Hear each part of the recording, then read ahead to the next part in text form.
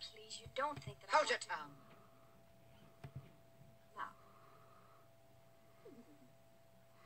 It seems we have time on our hands. But I was only trying to... Silence!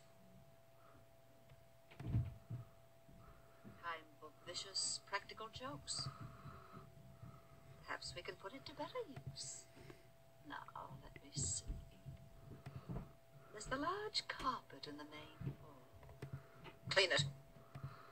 And the windows upstairs and down. Wash them.